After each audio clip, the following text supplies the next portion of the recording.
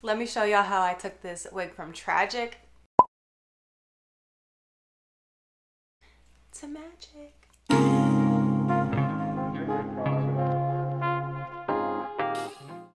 Hello beautiful people and welcome back to my channel. If you are new to my channel, welcome. And if you are not, hey friends.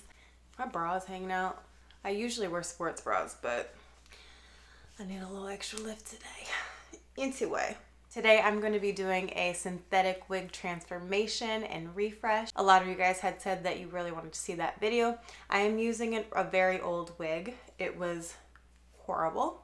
Um, this material is very synthetic, like it's super fake. It's like Barbie doll hair.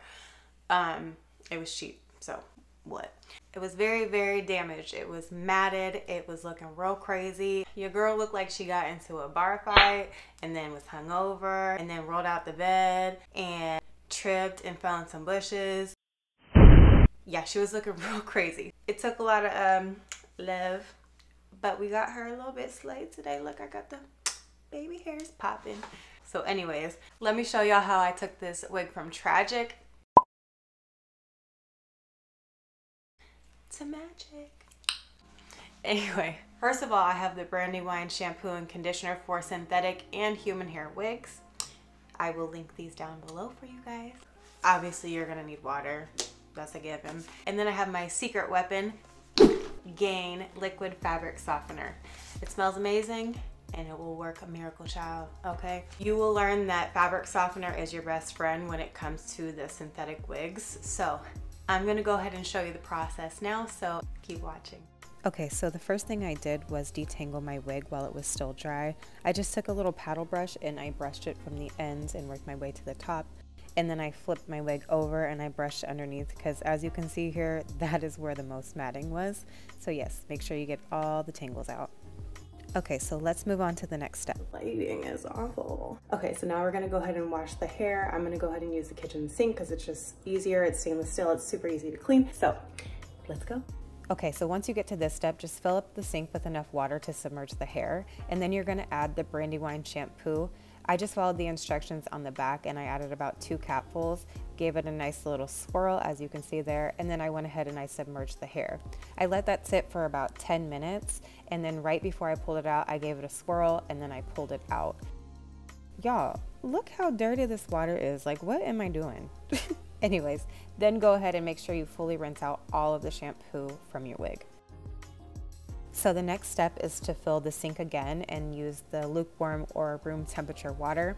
And then I added two capfuls of the Brandywine conditioner, gave it a swirl just like last time, and then I went ahead and submerged my wig in that. I let it sit for about 20 minutes this time, but keep in mind the longer you leave it, the softer it's gonna get. So then I took the wig out and I did not rinse out the conditioner.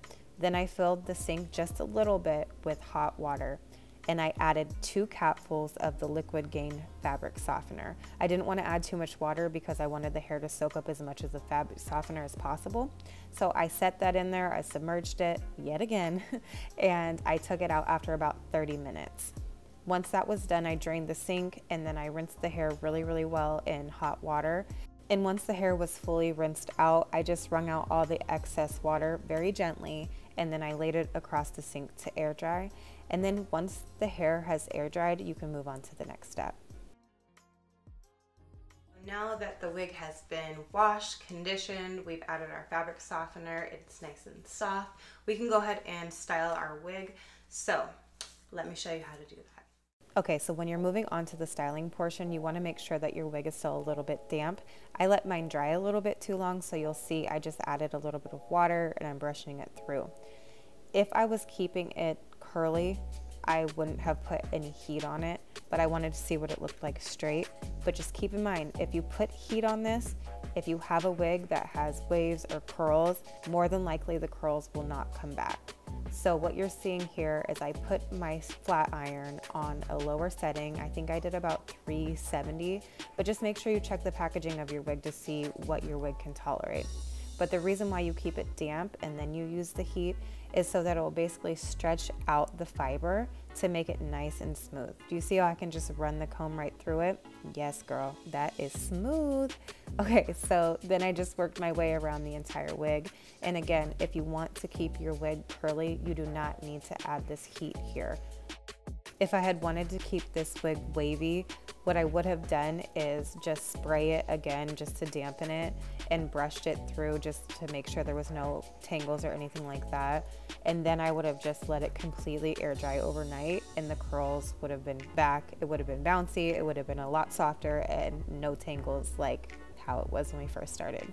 But anyways, so I straightened this like I said, the flat iron and the moisture combined is just kind of basically melting the fibers and stretching it out and smoothing it out.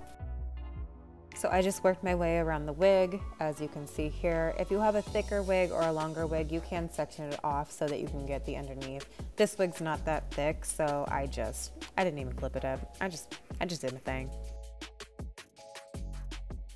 Look at that. Look how smooth it is. Tangle free. I did have to trim the ends of this just because it was cut weird. It used to be a really long wig and I had cut it shorter because I didn't know what I was doing to get the tangles out. But anyway, I ended up cleaning it up and now you can see what it looks like. All right, so that is how I achieved this look with my synthetic wig. I have refreshed, restored, and renewed this baby.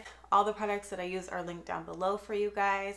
It was cheap, but look, I don't want to have to repay for another wig, so it's a really good, quick, easy fix for it. If you guys liked this video, make sure to hit the thumbs up. If it was helpful, make sure to comment down below. Hit that subscribe button and turn on your notification bell so that you get alerted every single time I upload a new video. And as always, thank you so much for being here and have a blessed day. Bye. We went from looking cray cray to Ooh, baby. Just kidding. Oh my God. Why am I so dumb?